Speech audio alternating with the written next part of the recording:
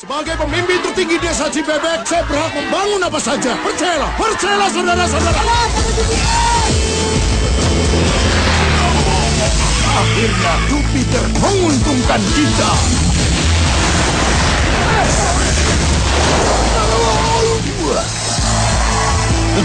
Yang tak punya Jupiter pun ikut untung.